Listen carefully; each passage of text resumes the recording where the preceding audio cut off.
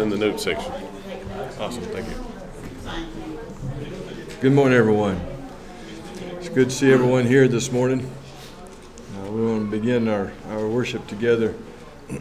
um, few things uh, by reminder, uh, opportunities that we have to gather together and to, to study God's Word together. Our Bible classes each Sunday morning at 9:30 and also uh, Wednesday evening at 7. Uh, and encourage everyone to come participate in uh, those studies uh, and our worship, of course, beginning each Sunday morning at 10:30. and a reminder that that we do have this as uh, being recorded for your convenience uh, or for your evangelism, as may be appropriate. And this is what it looks like on the on the website when you when you get there. and uh, a couple of ways to get to it through Facebook, uh, through YouTube. There's a picture of our um, website and with links to it. So um, lots of uh, information. Of course, the website's on the bulletin too, so you, you have that handy with you and you can share that and uh, use that. Uh, a, a, growing repository of information there. Um, this Saturday, uh, we will be having our dinner together, and uh, everyone is invited. Uh, this is our dinner with loved ones, and uh, February 10th seems like a long way off, but it's Saturday. So um, uh, we'll begin at 5 o'clock. There are sign up uh, sheets on the bulletin board. If you are coming, please sign so we make sure we get enough food for everyone. And um, um, but do do sign up and however many you're going to be uh, bringing with you. And also, uh, there is, especially for the men, there's also a list of some uh, food items to bring, and uh, so it, it's a menu. So uh, we'll plan plan accordingly. So you can see uh, what needs to be brought. It's two separate lists.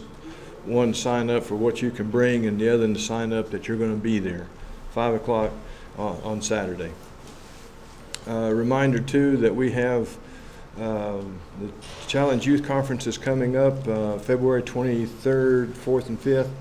Uh, Mike has been doing a good job of making arrangements for that. Uh, uh, uh and there is a cabin reserve for place to stay.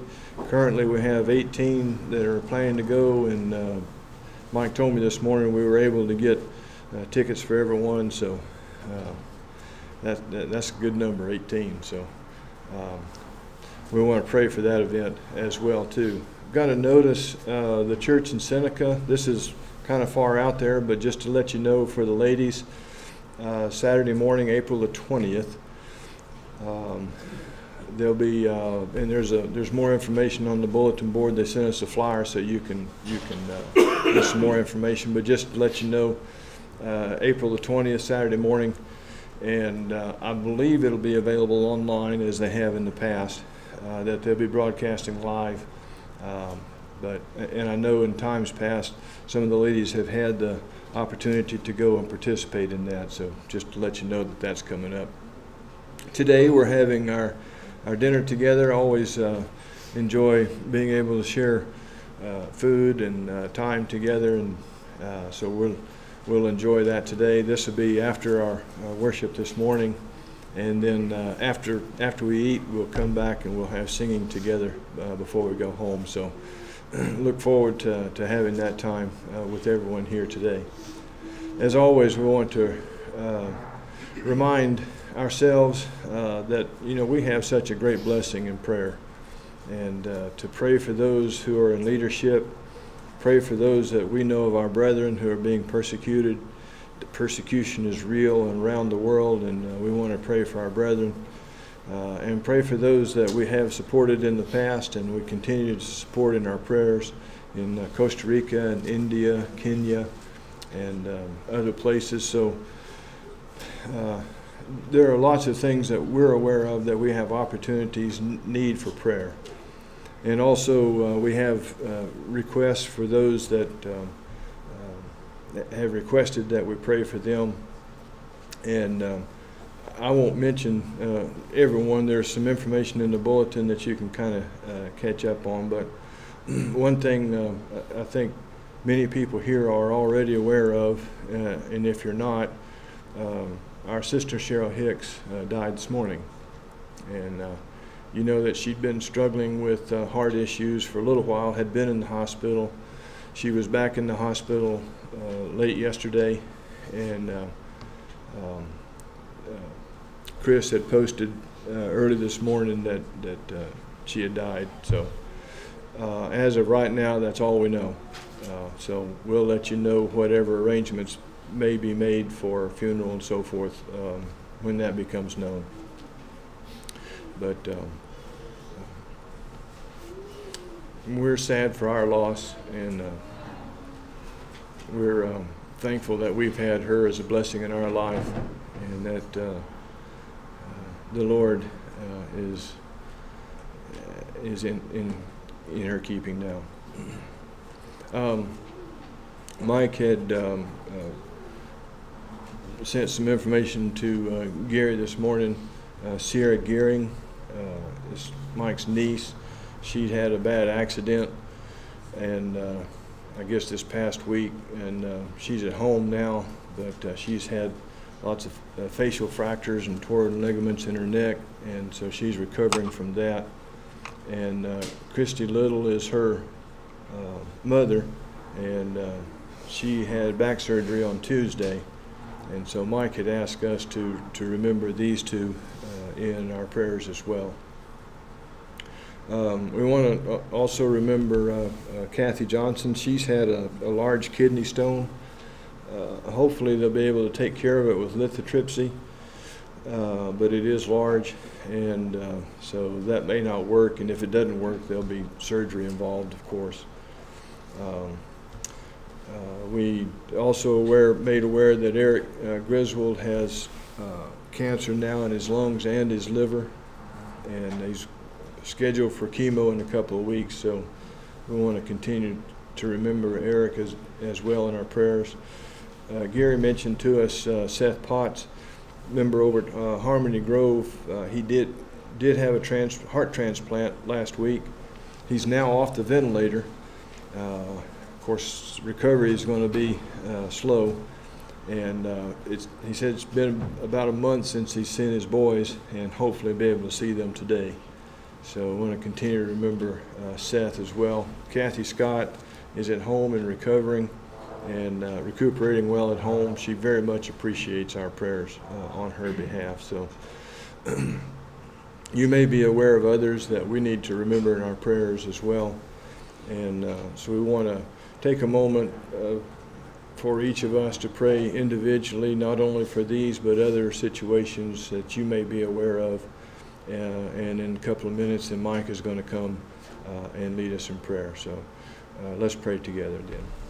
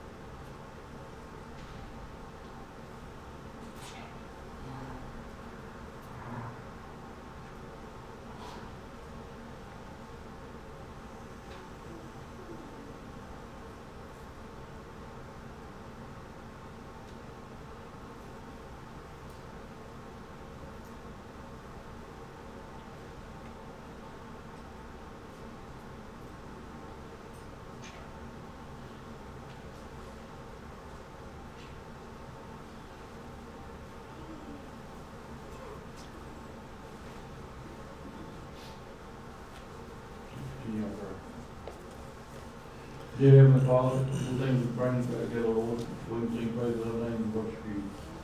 Bless those who could be with those who sick and sleeping with all with you, Lord.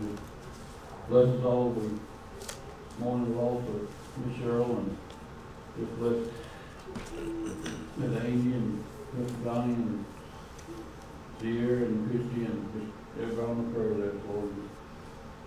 Let us be attentive to the lesson today and so we able to apply the lessons of our everyday life, so we need blessings to give all our sins. In Jesus' name we pray. Amen.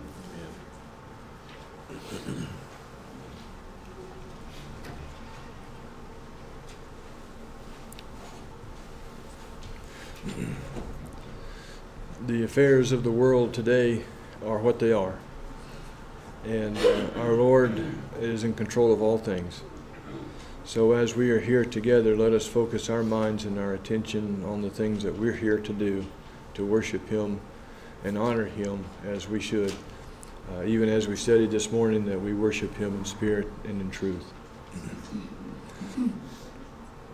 Paul, in his letter to the Ephesians, said, I, therefore, a prisoner for the Lord, urge you to walk in a manner worthy of the calling to which you've been called, with all humility and gentleness, with patience, bearing with one another in love, eager to maintain the unity of the Spirit in the bond of peace.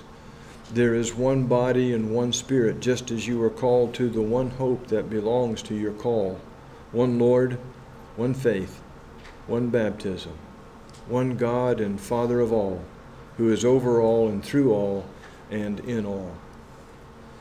As we uh, worship together in our singing, uh, thinking about the words that we're expressing from our hearts, proclaiming these to God, to, to one another, uh, as we express our love and devotion for Him, and especially for all the blessings that He's given to us.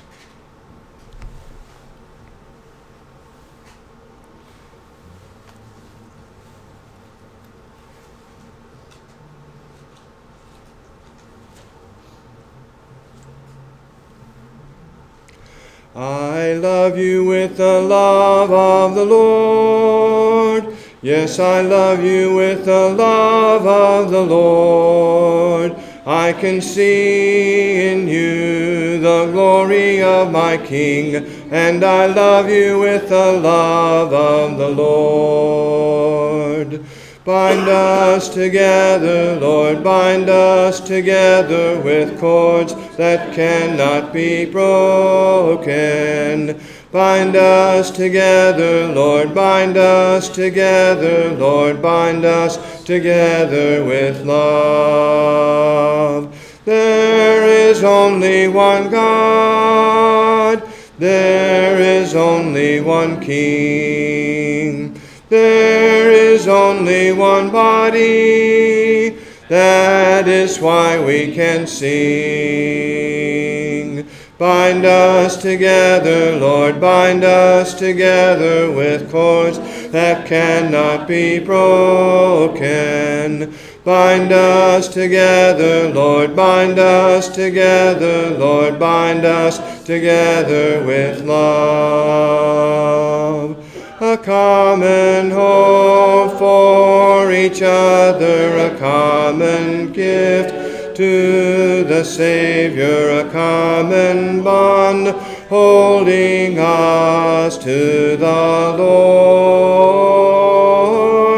a common strength when we're weary, a common hope for tomorrow, a common joy truth of God's Word, a common love for each other, a common gift to the Savior, a common bond holding us to the Lord, a common strength when we're weary, a common hope for tomorrow, a common joy in the truth of God's Word.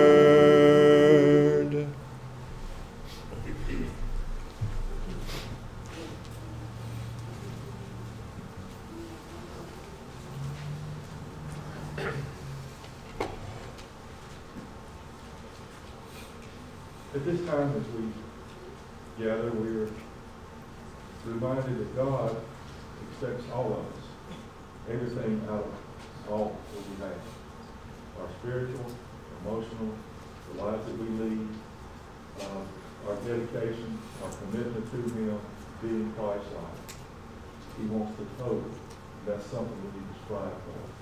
But as a family here, He is just asking for a small part of what we have in this world, that we contribute to this family for the lights, for the building, and for things that we do for uh, the, the saints, for the, for the missionaries, for each other, that we continue to work in this world for, for the, for this family.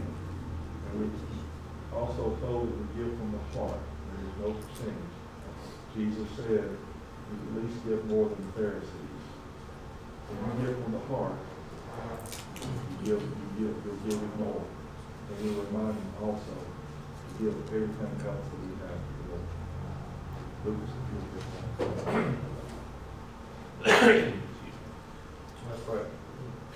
Uh, God and Father in heaven, we just want to come to you at this time to thank you so much for all the wonderful blessings you've given us life. We, we thank you for the sunshine that you send to brighten our days, Father. We thank you for the rain that, uh, that falls to, to nourish the land, Father. But more importantly, Father, we thank you for your Son and our Savior who reigned in heaven with you, Lord. We just want to ask that you would be with us this morning as we take up this contribution, that, uh, that you would use it, Father, as your will to um, help spread the, your word, Father. We pray that you would use it to help those that are in need, Father. More important, Father, we just pray that your will would be done, Lord. We just continue would bless this congregation, help us to continue to grow uh, in your grace and your knowledge, Father. We ask and pray all these things to your Son and our Savior, Christ Jesus.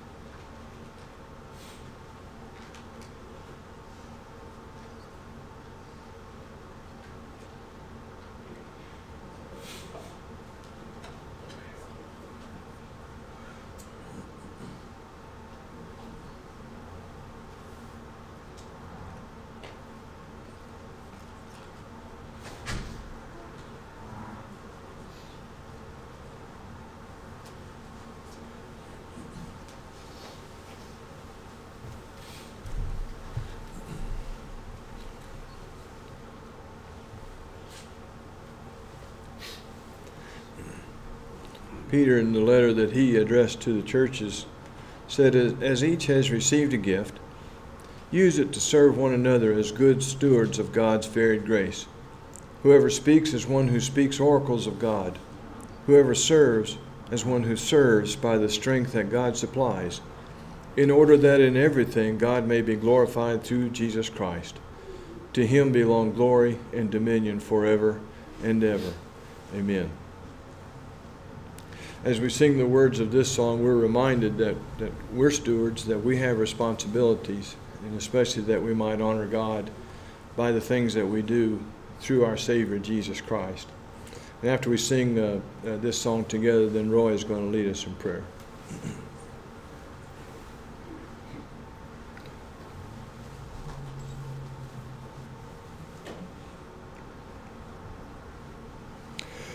A charge to keep I have, a God to glorify,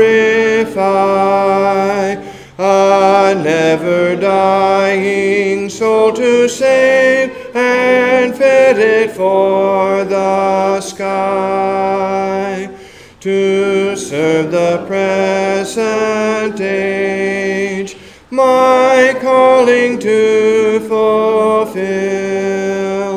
Oh, may it all my powers engage to do my Master's will.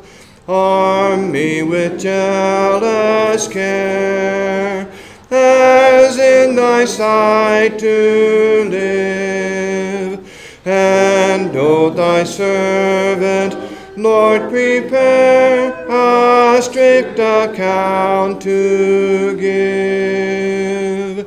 Help me to watch and pray, and on thyself rely.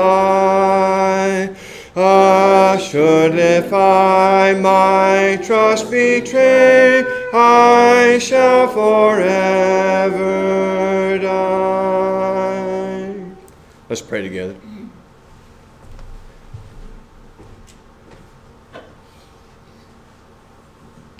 Let us pray. O Lord, our Lord, how excellent is your name in all the earth. We come before your presence, Father, this morning with humble hearts and, and hurt in the hearts of many. We pray, dear Father, that we realize that your heart is also touched by the prayers that we make and when, we hurt, that everybody hurts that are members of the Lord's body. We'd ask thee this morning, dear Father, for those that are hurting, that you would, that, that you would touch their hearts, that they'd uh, uh, feel more encouraged because of their closeness to you. We're thankful for everything, dear Father, that the Father gives to us for every little thing that we have and need comes from your most bountiful hand of our Savior. We ask thee, Father, this morning to, uh, to, to touch the hearts of those who hurt. Because you're the one that we have confidence and faith in.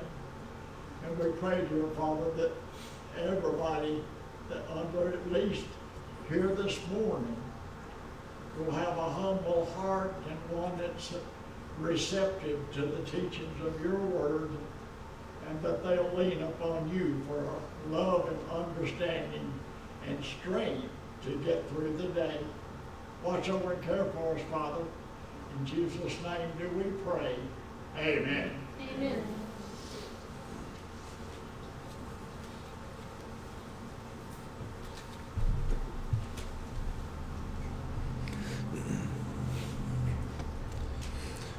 John reminds us in his uh, letter that he addressed uh, also to the churches By this we know that we abide in him, and he in us, because he has given us of his Spirit. And we have seen and testify that the Father has sent his Son to be the Savior of the world. Whoever confesses that Jesus is the Son of God, God abides in him, and he in God. So we have come to know and to believe the love that God has for us. God is love, and whoever abides in love abides in God, and God abides in him. By this is love perfected with us, so that we may have confidence for the day of judgment, because as he is, so also are we in this world. This song reminds us truly of uh, the how deep the Father's love for us is.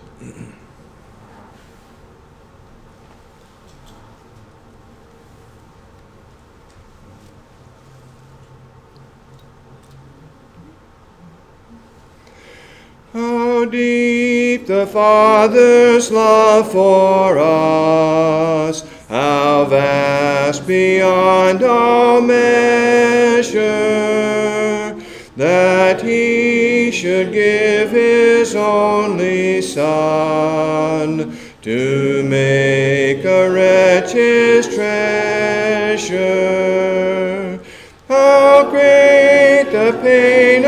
Searing loss!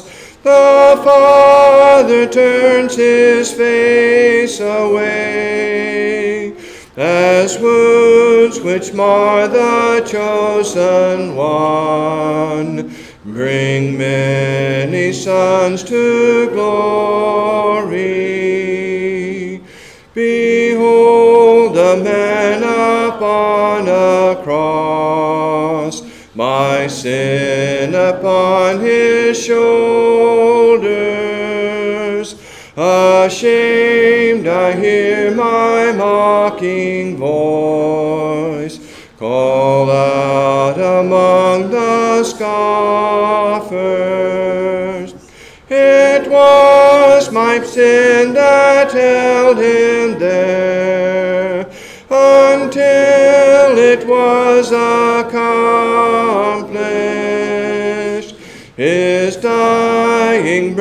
Has brought me life. I know that it is finished. I will not boast in anything, no gifts, no power, no wisdom, but I will boast in Jesus Christ, his death and resurrection. Why should I gain from his reward? I cannot give an answer, but this I know my heart. His wounds have paid my ransom.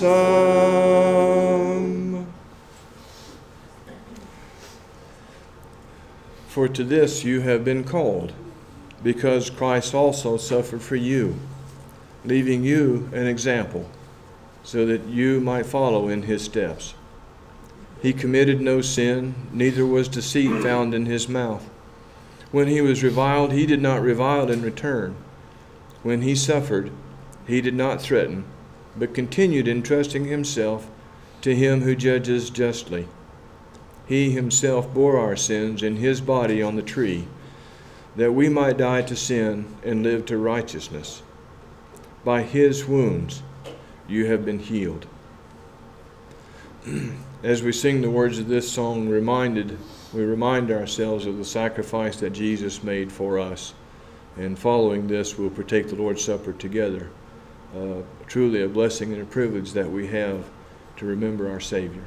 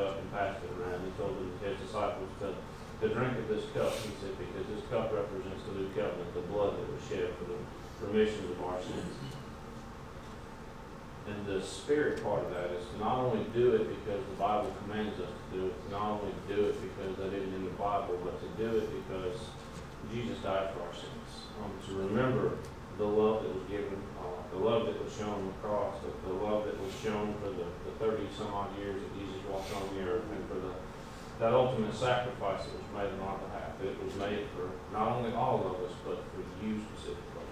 So let's remember this as we pass around the bread and Kind and gracious Heavenly Father, we ask that you bless this bread which represents the broken body of Christ. Heavenly Father, as we do so, let us examine ourselves. Heavenly Father, we thank you so much for this great and wonderful sacrifice. It's in Jesus' name we pray.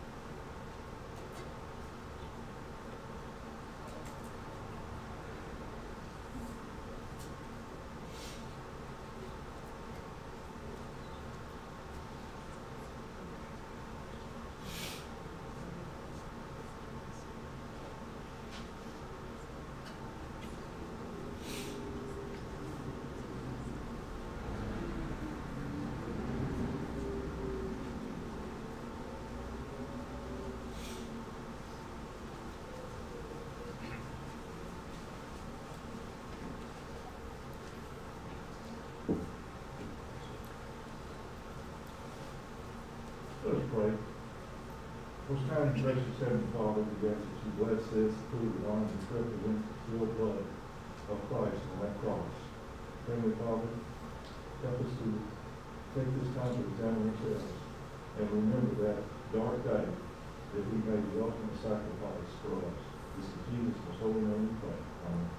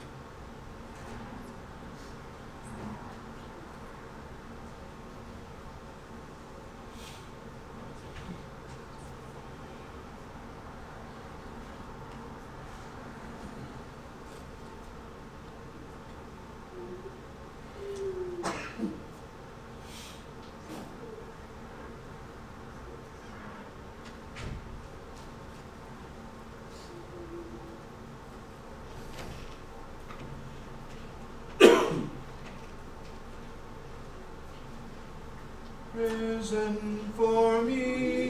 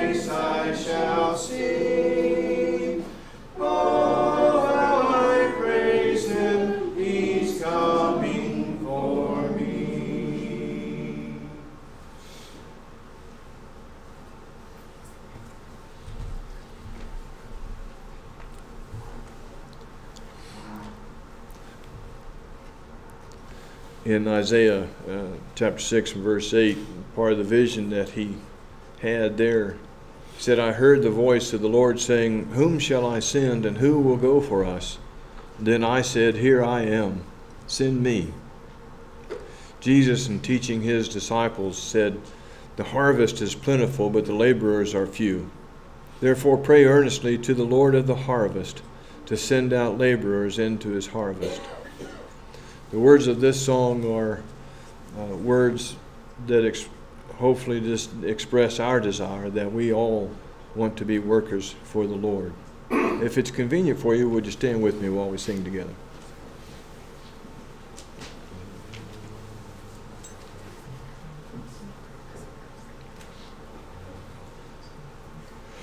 I want to be a worker for the Lord. I want to love and trust His holy word. I want to sing and pray and be busy every day in the vineyard of the Lord. I will work, I will pray in the vineyard, in the vineyard of the Lord. I will work, will pray, I will labor every day in the vineyard of the Lord. I want to be a worker every day. I want to lead the erring in the way that leads to heaven above, where all is peace and love in the kingdom of the Lord. I will work, In the vineyard, in the vineyard of the Lord. I will work, I will pray, I will labor every day in the vineyard of the Lord. I want to be a worker strong and brave. I want to trust in Jesus' power to save. All who will truly come shall find a happy home in the kingdom of the Lord. I will work, I will pray in the vineyard, in the vineyard of the Lord. I will work, I will pray, I will labor every day in the vineyard of the Lord. Please be seated. The song after Gary's lesson this morning is uh, Who Will Follow Jesus, number 760 in our songbook.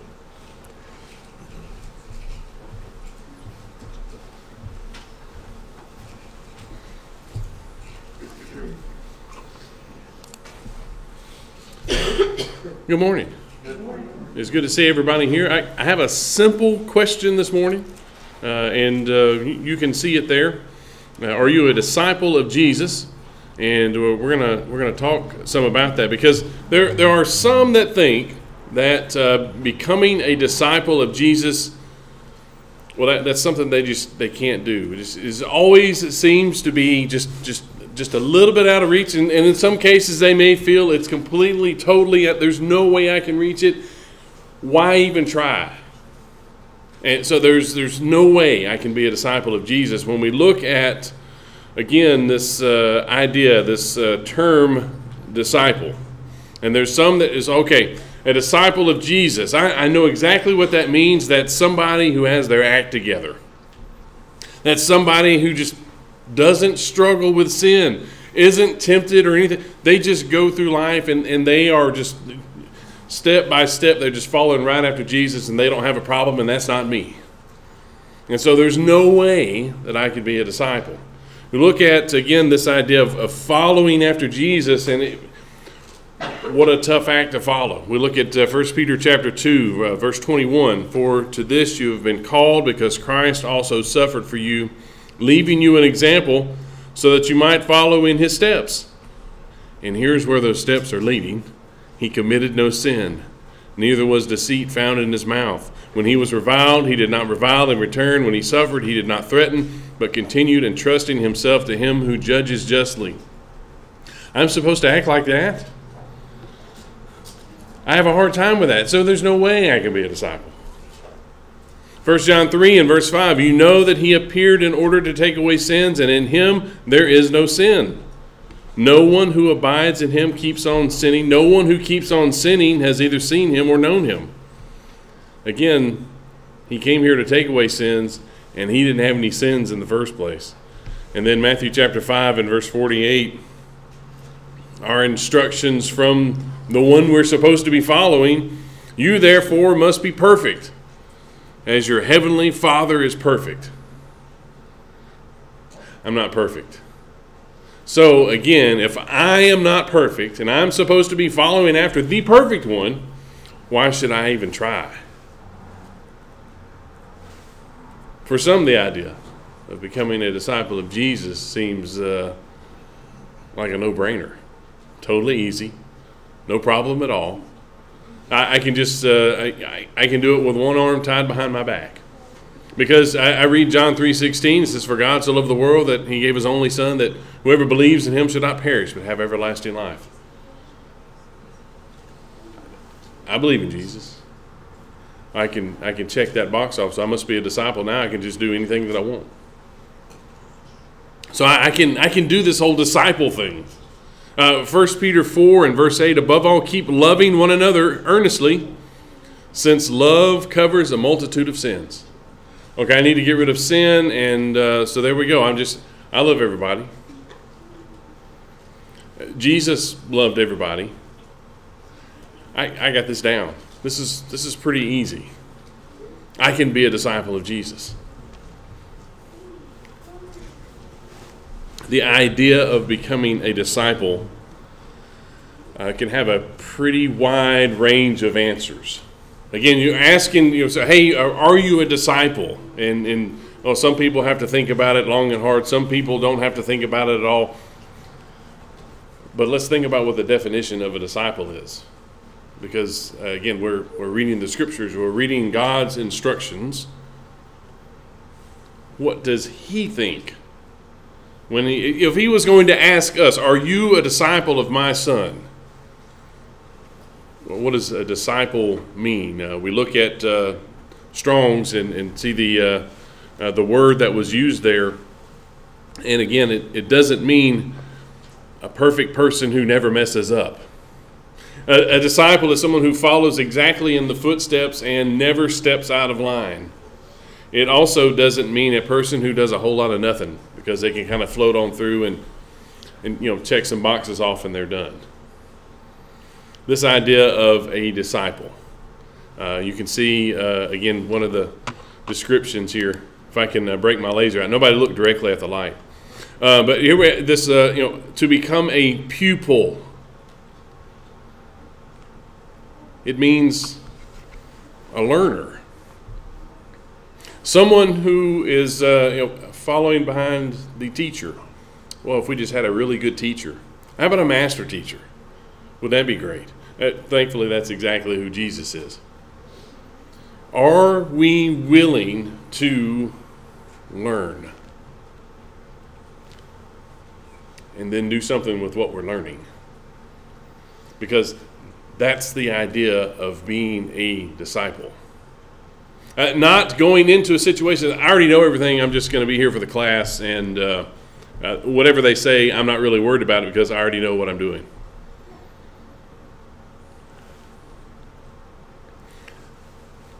Are we a learner? Do we have the desire to learn? It's only heaven and hell. I mean, we can look in the descriptions that, that God gave us, and here is how wonderful heaven is, and here is how horrible hell is, and we know we're going to one of those two places for all eternity. I think it's uh, very important to learn the lessons that God is providing for us if that is going to be the outcome. Are we willing to learn? Does that term uh, disciple or uh, an, an, apprentice or a learner, is that me? I'll, I'll let you flip that around. You can use that same question in your mind. You don't have to answer it out loud. Is that me? If, if God was giving a description of, of me, would he call me a learner, a disciple, an apprentice? Well, how does one become a disciple or an apprentice of Jesus?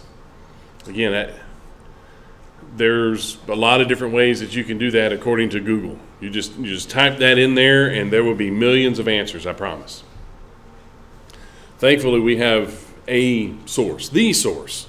We have God's instructions and we can go there and find out and of course even information directly from the master teacher in uh, Matthew chapter 28, again, he's, he lets his disciples know that he has been given all authority in, in heaven and on earth. And then he gives them their instructions. And these are not his instructions that I'm about to read to you.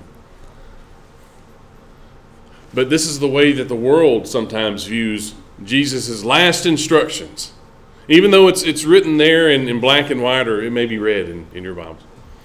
The way they act, this is what he said. Uh, so, guys, if you feel comfy telling somebody about me during the regular course of your life, that would be nice of you. If your denomination does uh, baptisms and if the uh, Trinitarian nature of God fits with your worldview, then great. Include those aspects in your effort. Be careful not to suggest that they follow my commandments too closely, though, that would just be weird. You don't want to be weird. I, I know it's really, really small font, so I decided to read that to you.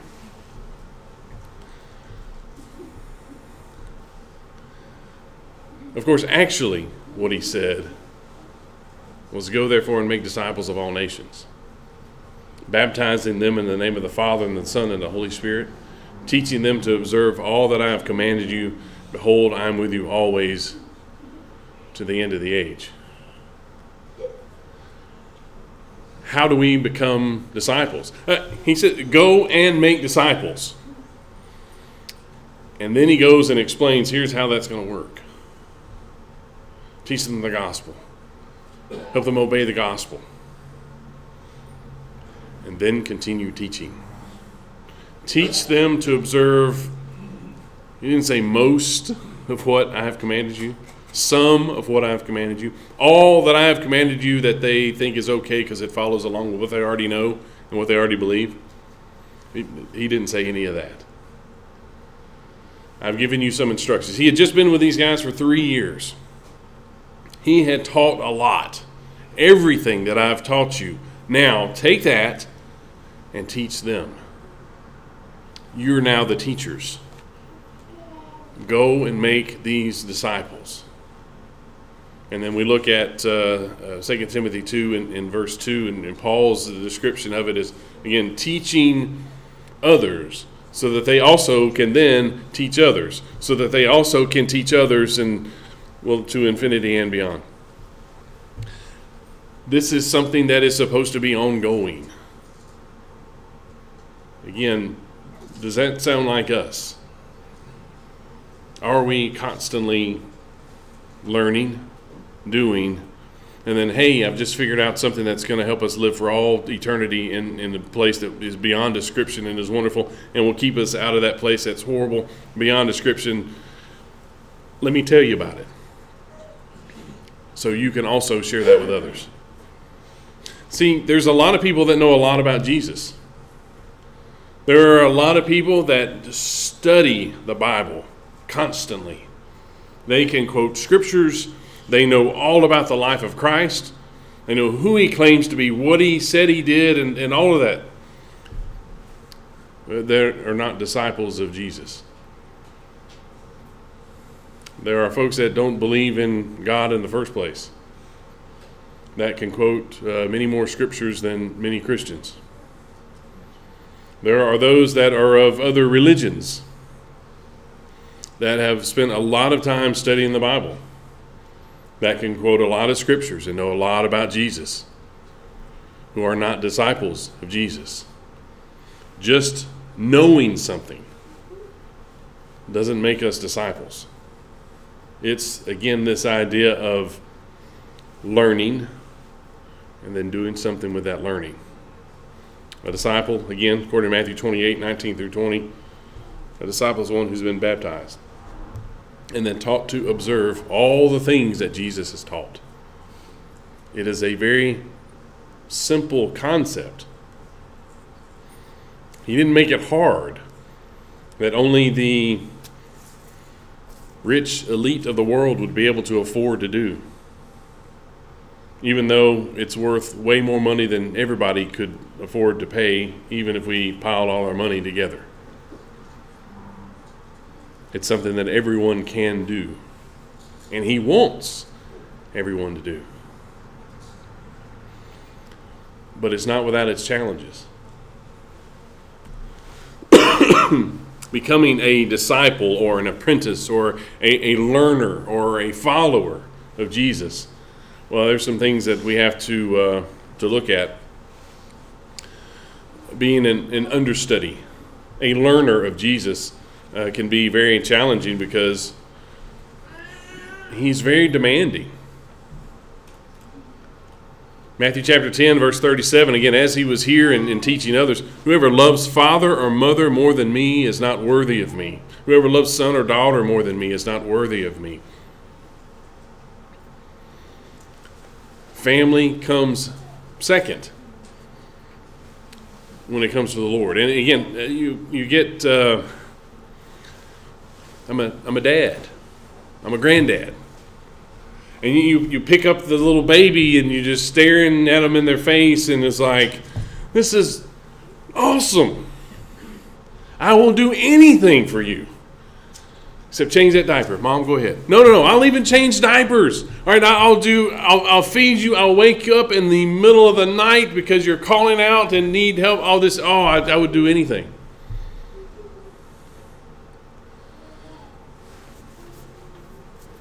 But I won't sin. I won't lie for you. I won't do something that's going to separate me from God because I love God more than I love you. Is the attitude that Jesus wants of us. And again, that goes for mom, dad, brother, sister, son, daughter. For some people, that's dog, car, cat there's all kind of other things that they, they put in front of what God wants. Jesus is very demanding. I am first. Are you a disciple of me or not? Whoever does not take his cross and follow me is not worthy of me. Whoever finds his life will lose it. Whoever loses his life for my sake will find it. We can put ourselves in that spot as well. Uh, let's forget about mom, dad, brother, sister, uh, son, daughter. Me. I, I kind of like me. I've known me my whole life. And I, I, I'm really close to me. I would do a lot for me. But God wants to be first, even when it comes to me. See, we don't uh, see a lot of crosses. Well, you know, people wear them on T-shirts and hats, and they got bumper stickers and all kind of things. So again, when you look at whoever does not take his cross and follow me, was I, I've got a cross. I can I can grab one. I'll I'll come and follow you. It's it's not exactly what he meant. In today's world, basically, he would have said, uh, "Whoever does not take his electric chair and, and follow me is not worthy of me." Whoa, hang on a second. Um, electric chair. I, I know what happened. I, you know, it's not the little recliner that picks you up uh, by itself in, in the living room. This is something that people are dying to get into, or at least out of. Those things kill you. Are we willing to die? Or move our life out of the way, move me out of the way so that I can put God first? That's kind of demanding, isn't it? Because then that makes me second. And that's exactly what he means. And that is very, very hard for people that you know know know me. And again, I'll let you uh, insert me there for you. Mark chapter 8 in verse 34 calling the crowd to him with his disciples he said to them if anyone, if anyone would come after me let him deny himself take up his cross and follow me for whoever would save his life will lose it whoever loses his life for my sake and the gospel will save it and again we, we see that in the first century uh, the church unfortunately had to literally live these verses people were giving up their lives. They, they were uh, announcing their faith in Jesus uh, right before their family was killed, right before their eyes. And then, of course, they would die following that, uh, usually as well. They were literally losing their life for Him. And of course, it happens around the world even today we don't have to face that here at this particular point. But are we willing to lose the life that we have so that we can be pleasing to Him? But I, I, I kind of like this uh, uh, job over here. I kind of like this uh, this person that I'm with over here. I kind of like the things that I'm doing here. You mean God doesn't want me to do that and and I'd have to give that up to be pleasing to Him. Who's first?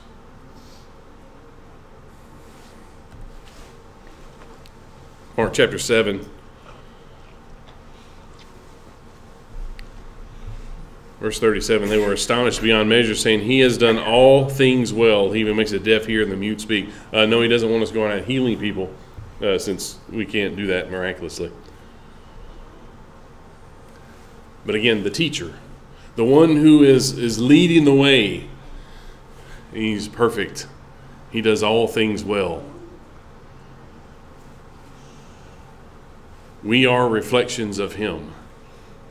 Can people say that about us? Because we look at uh, 2 Corinthians 5 and verse 21, again, uh, as we've seen, he God made Jesus to be sin who knew no sin, so that in him we might become the righteousness of God. He committed no sin, neither was deceit found in his mouth. When he was reviled, he did not revile in return. When he suffered, he did not threaten, but continued entrusting himself to him who judges justly. When he got cut off in traffic, he didn't ram his camel into the camel in front of him. I don't know if he rode camels. I know he at least rode a donkey once.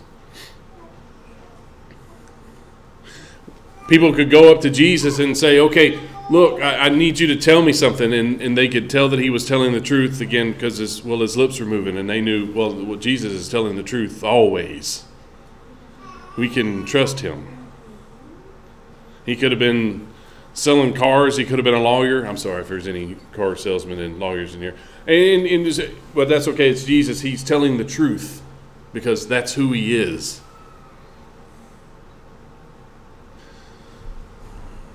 Are we apprenticing correctly?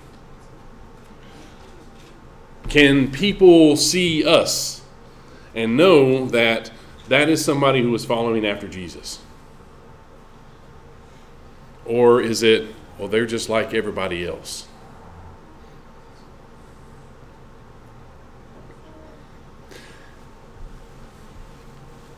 And, and we are like everybody else. We're just, we're human. We're people. We aren't perfect. But are we trying?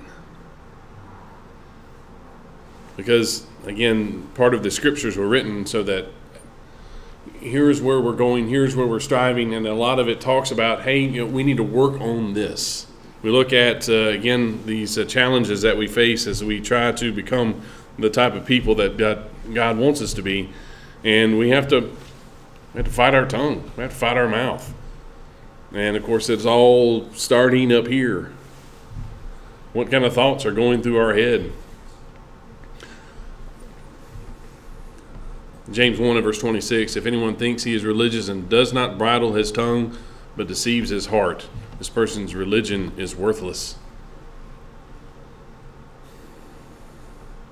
Again, are, are we somebody that people can go to and we know they're telling the truth? Over and over again, they've been able to prove that, even if it's bad news. Even if it's something different than I totally expect, even if it's something that may hurt my feelings, but they're going to tell me the truth. I can see their reaction to different things. I know this person is, is one that follows Jesus because they're not uh, spouting out words that uh, they're not supposed to be using. Whether they're happy, whether they're angry. James chapter 3, again, uh, he spent a lot of time talking about this. It's almost like he thought this was going to be a problem for us. James chapter 3, verse 1 uh, Not many of you should become teachers, my brothers, for you know that we who teach will be judged with greater strictness. For we all stumble in many ways. And if anyone does not stumble in what he says, he is a perfect man, able also to bridle his whole body. But if we put bits into the mouths of horses so that they obey us, we guide their whole bodies as well. Look at the ships also, though they are so large and are driven by strong winds, they are guided by a very small rudder, wherever the will of the pilot directs. So also the tongue is a small member, yet it boasts of great things. How great a forest is set ablaze by such a small fire. And the tongue is a, uh, is a fire, a world of unrighteousness. The tongue is set among our members, staining the whole body, setting on fire the entire course of life, and set on fire by hell.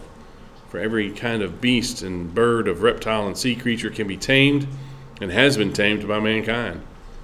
But no human being can tame the tongue. It is a restless evil, full of deadly poison. With it we bless our Lord and Father, and with it we curse people who are made in the likeness of God. From the same mouth come blessing and cursing. My brothers, these things ought not to be so. Does a spring pour forth from the same opening both fresh and salt water? Can a fig tree, my brothers, bear olives, or a grapevine produce figs? Neither can a salt pond yield fresh water. Again, the powerful, dangerous tongue. Again, uh, maybe we have a, second James written uh, uh, just this year. yes, I'm making that part up. But again, the thumb is a powerful thing because maybe we're not saying the words, maybe we're texting them. Uh, maybe our you know, fingers are very, very powerful. It can start fires too because we're emailing somebody and giving them a piece of our mind. See, it's, it's not really that. I didn't have a picture, so I just had to give you mine. And he's not really worried about that thing. He's got a bunch of uh, uh, lovely taste buds that we're going to get to test here in just a minute. Hopefully, everybody's going to stay for that. It, it helps us form words. It just it's it's just pretty cool if you sit there and think about you know again uh, you know the voice box and just all, all you do is move an air over and tongues moving around a little bit, and, and, and, you're forming sounds that we all of a sudden you know what's going on in here. Well, the going on in here is what James is really worried about. Because the words that we're using, using, using, all start here. And this is the part that God wants us to be worried about. Is this an apprentice, a learner, a disciple. Uh, does this make us sound like, look like, act like what God wants us to act like? Because that is something that is a challenge. And we can't just check the box and say, listen, I didn't I didn't say anything wrong, I didn't type anything wrong, I sent no one bad text messages today. I must be good. I don't have to worry about it anymore. I mean, we can say that while we're sleeping, maybe, but while we're awake, we need to be paying attention to it. Colossians 4 and verse 6 again, uh, Paul told the church in Colossae, Let your speech always be gracious, seasoned with salt, so that you may know how you ought to answer each person. Again, how hard is it? If we are using words we aren't supposed to be using, we're very angry, we're just uh, reacting horribly to people and say, hey, listen, we, we would really love for you to come and study the Bible with us. It, it's hard if people know how you are. There's no way I want to be the type of Christian that they are. And they can be lost because they don't want to be the type of Christian that we are. But it's a challenge we got to face, meet, and beat. We also have to work on our, our attitude. We see first, 1 Corinthians 13, the first seven verses there, and again, uh, Paul describing all these gifts that, uh, that they had back then, again, these miraculous uh, uh gifts of the Spirit. Excuse me. He said you could be uh, you could be a superhero when it comes to uh, spiritual gifts. You could do all of these things, and again, th- these are supernatural things to be able to uh, to speak another language without even studying, to be able to receive knowledge uh, miraculously, again, just popping into our head from God, and then be able to, to share that with others, to be able to heal people and, and uh, raise the dead, and do all these things that they could do back then. If I give away all I have, and if I deliver my body to be burned, well, that's something we can actually do today. But have not love, I gain nothing. Do we show the same love to others that we receive from the Lord? He loved us enough to die on the cross for us. How much do we love our fellow man, our family here, our human family outside these walls? What is our attitude? Are we seeking and saving the lost? Just like Jesus did. Are we helping others that need the help? We see in excuse me, Luke chapter 10. Uh, again, you have uh, this, this story that he, he told of how we're supposed to help our neighbor out have a, a couple of uh, religious people that were very busy. They were on their mission. They were going to go ahead and go. They had the, uh, the Levite and the priest just walking by this person who was in obvious need. They had just been mugged, had everything stolen from them clothes, wallet. You know, I, I don't see a car here, so it must have had his car taken away too. All of these, I mean, he was he was just beaten, and they just walk on by. And then somebody who's normally not a friend walks by, is Samaritan. Uh, the, the, Jews and Samaritans didn't get along. But here was somebody who's, hey, you need help. I'm going to stop what I'm doing. I mean, obviously, I, I don't think he was out on a Sunday stroll. He was probably going somewhere too. Probably had something to do. He stopped and he helped because, well, that's the right thing to do. Are we good Samaritans? Again, maybe we're not uh, walking down the street looking for people who've been mugged. But is there somebody that's uh, hungry? Is there somebody that needs help? Is there somebody that needs an ear? Are we them?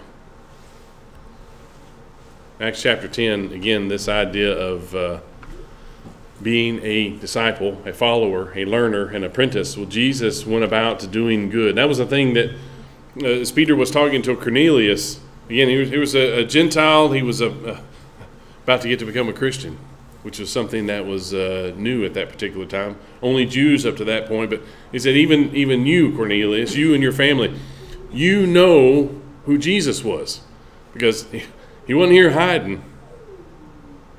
He went about doing good.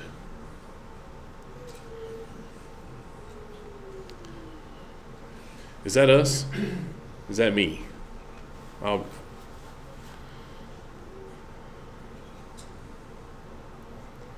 can the same thing be said about me?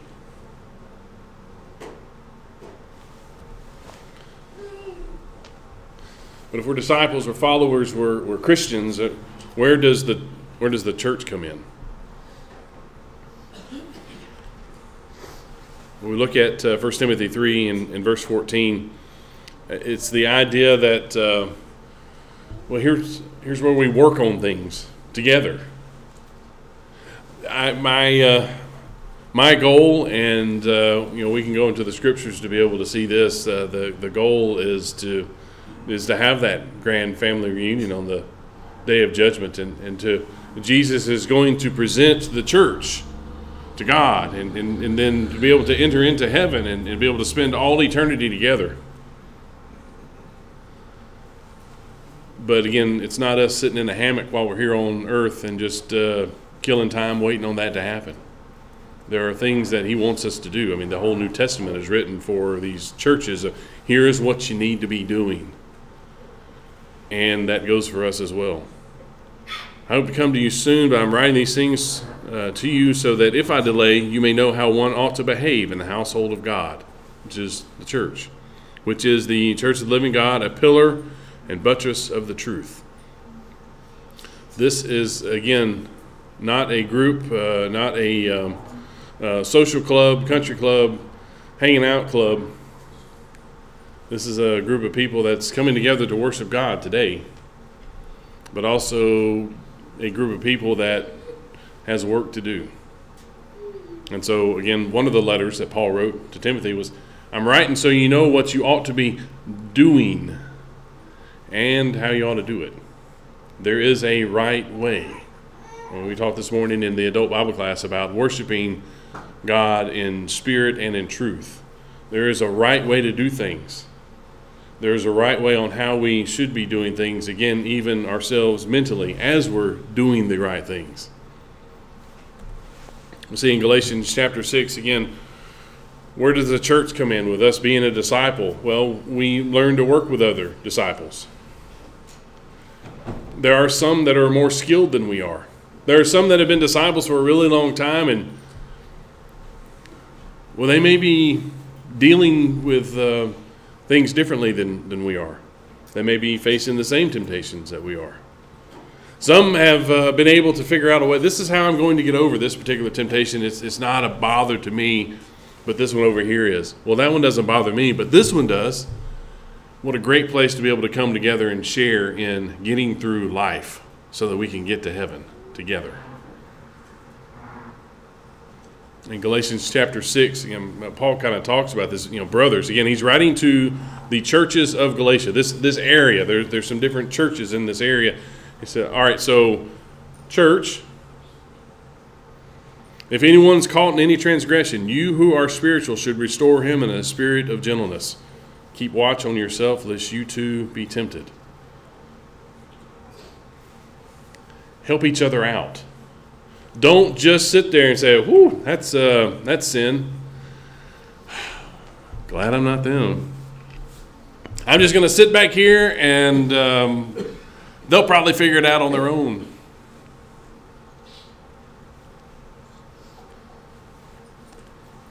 Help each other. Because you too one day may need the help. And if you are helping others, and then when it comes time for you to need the help, uh, well, you've got a whole family that's there to, to help each other out. Bear one another's burdens, and so fulfill the law of Christ. For if anyone thinks he is something when he is nothing, he deceives himself, but let each one test his own work, and then his reason to boast will be in himself alone and not in his neighbor. for each will have to bear his own load. See, we all need to help each other live right, act right, keep learning, keep doing. Because eventually, yes, we need to be able to help each other. We need to be able to encourage each other, to be able to edify, build up each other. But on the day of judgment, we're going to be standing in front of the judge by ourselves. It is our life compared to the scriptures. We can help each other get there, but eventually it is going to be just us. Let's help each other be ready.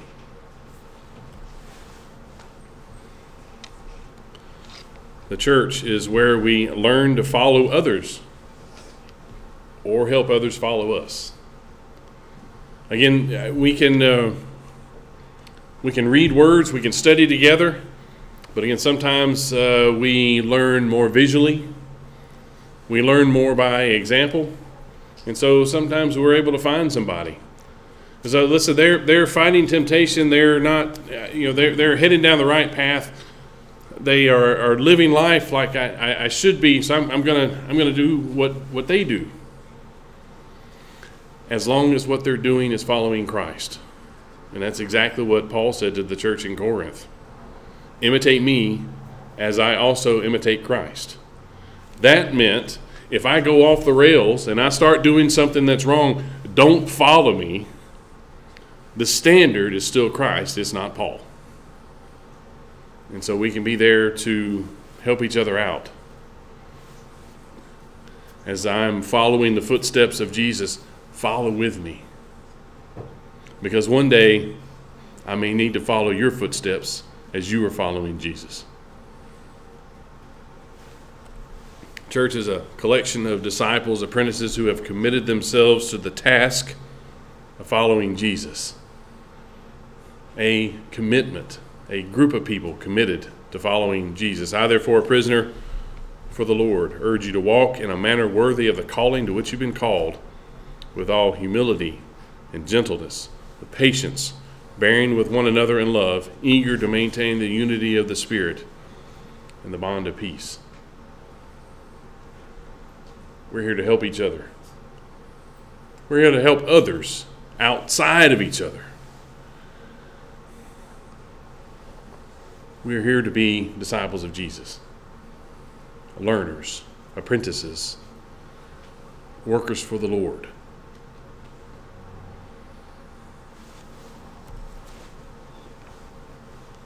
But here's the warning when we commit to becoming a disciple of Jesus, we have to give up some things. There's some things that we, we may have over here that say, we, we really kind of like this, but it's not in his instructions. And so we're going to have to have to get rid of them. I, I didn't make a complete list uh, just a just a few things. But one of the things that we're going to have to get rid of is sin. Well, I mean, see, that sounds really easy, right? Oh, sin's bad. God doesn't like it. That's going to keep us out of heaven. Okay, I'm just going to get rid of it. What about this? See, it's it's really easy for us to be able to point to others, and you know, if somebody just asks a question in general, should we get rid of sin? Yes, that was an easy question. What if there are some things I've always done? What if there are some things that I have recently done that I kind of like? What if there's just a way that I live my life?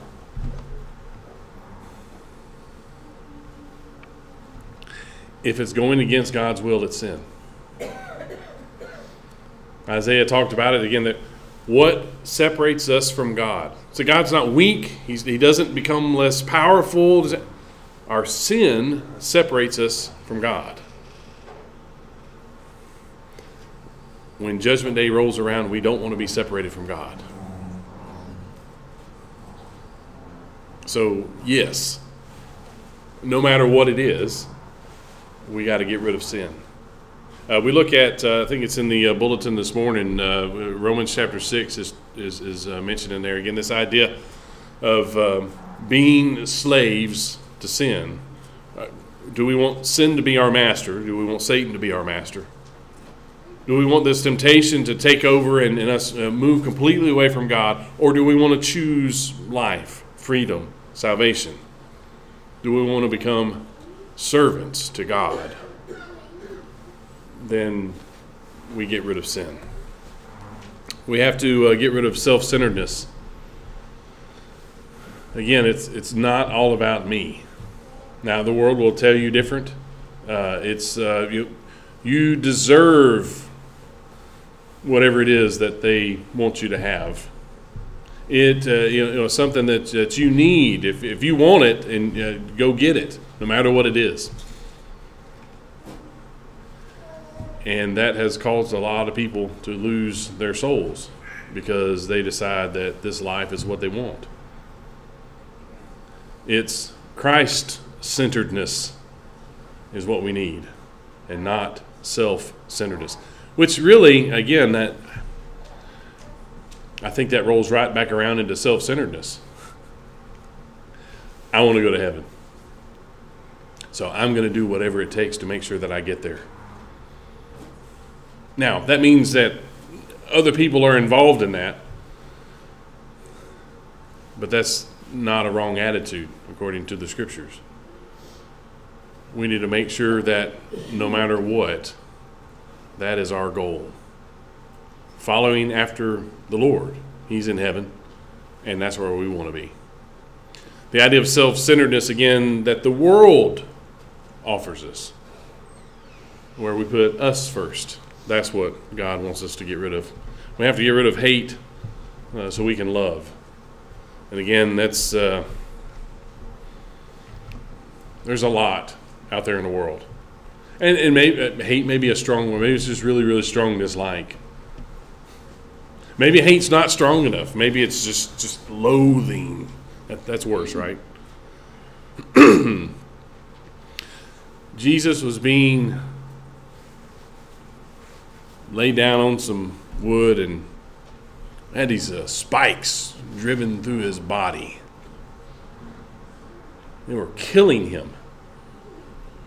And it wasn't like, hey, uh, we're just going to take you out and boom, it's done. It's we're going to take hours to watch you die. We're going to make fun of you while you're hanging there. Blood's going to be pouring out there, and you're just your, your body is just going to just cave in. It is going to be excruciating, and we're going to laugh and make fun of you the entire time. Father, forgive them, for they don't know what they're doing. See, John 3:16 was true before the world even began. It was true as he was dying on the cross. It's true today. Jesus and God loved the world, even those who were murdering him, and even those who he was on the cross for, which is, well, everybody who ever has lived, uh, is living now, and will live in the future. If he wasn't hating on the people that were murdering him, why why us? Why why, would that give us permission then to hate the person that cuts us off in traffic or hate the person that got the job and we didn't or hate the person that got the person that we wanted? Hate the people that got the money that we wish we had and all I mean there's all kind of different reasons to not like somebody. We need to get rid of hate so that we can love, so we can share the gospel, so we can be a disciple, a true disciple. we need to give up hell. And I know, again, that's one of those things. You just, hey, would you like to give up hell so that you can get heaven? Yes? Is this a trick question? But there are a lot of people in the world who have a very, very firm grasp on hell. What is our soul worth? See, it's, it's worth the life of Jesus. It's worth, I mean, he came down here to die on the cross.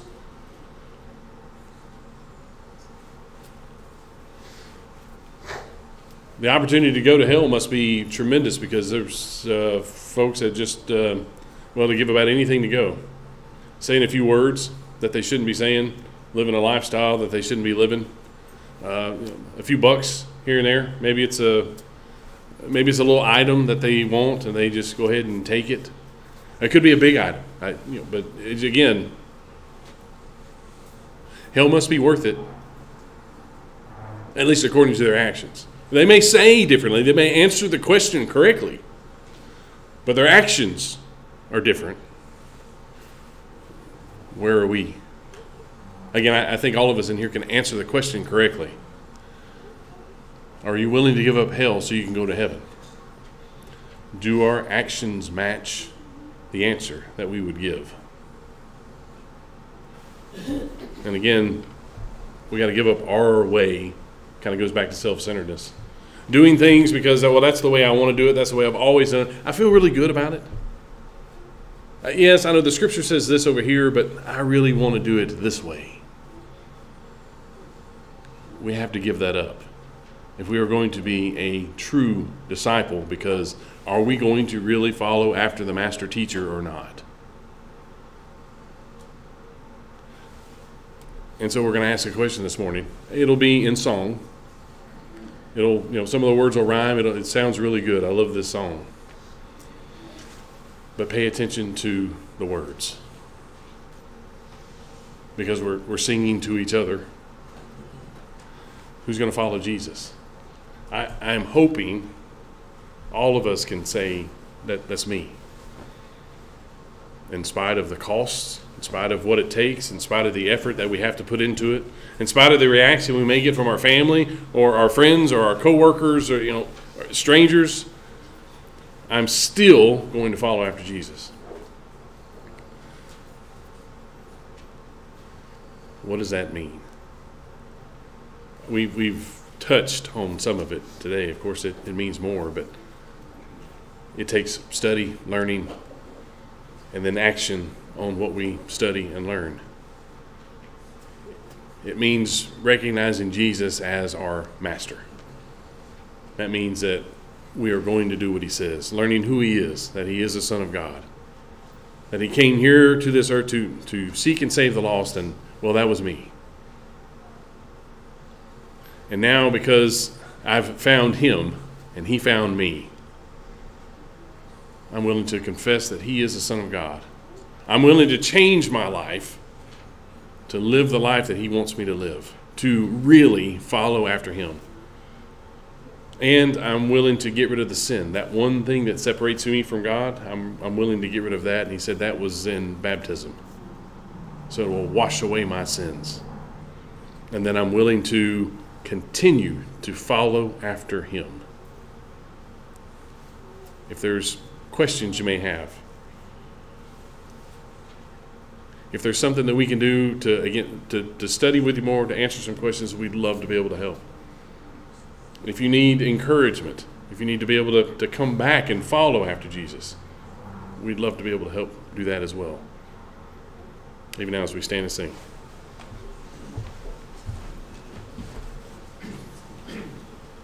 Who will follow Jesus, standing for the right, holding up his banner in the thickest fight, listening for his orders, ready to obey. Who will follow Jesus, serving him today? Who will follow Jesus? Who will make reply? I am on the Lord's side, Master, here am I.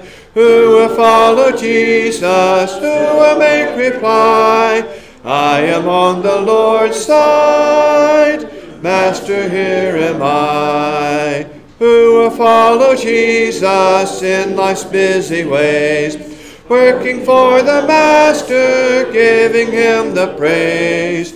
Earnest in his vineyard, honoring his laws faithful to his counsel, watchful for his cause.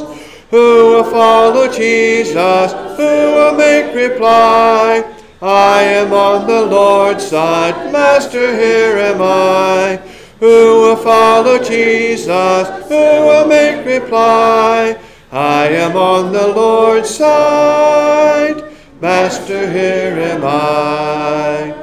Who will follow Jesus in his work of love, leading others to him, lifting prayers above. Courage, faithful servant, in his word we see. On our side forever will the Savior be. Who will follow Jesus? Who will make reply? I am on the Lord's side, Master, here am I. Who will follow Jesus? Who will make reply? I am on the Lord's side, Master, here am I. Thank you again, Gary. Uh, good, very good lesson. It's always a great blessing to be able to assemble with you here and to worship God in His way, as we've done uh, in spirit and in truth. Um, remember those announcements made earlier, and especially those that we want to remember in our prayers. Uh, folks need encouragement, need some help. So uh, may we always be alert to opportunities we can help one another. um, it's always good to have visitors with us uh, as well this morning too, and you're very welcome to, to be with us. Uh, after we uh, sing our uh, one verse of our closing song, uh, we'll be uh, led in prayer by Bob Scott, and we'll also offer thanks for the food that we're about to enjoy together, and hope that everyone can stay for that. Also, don't forget to sign up for um, Saturday night. Hope hope everybody can be here as a reminder some of the things that G, uh, Gary mentioned to us, what Jesus said. He said, If anyone serves me, he must follow me. And where I am, there will my servant be also. If anyone serves me, the Father will honor him. Uh, let us let that be our desire to uh, follow our Savior, uh, even as we go from this place.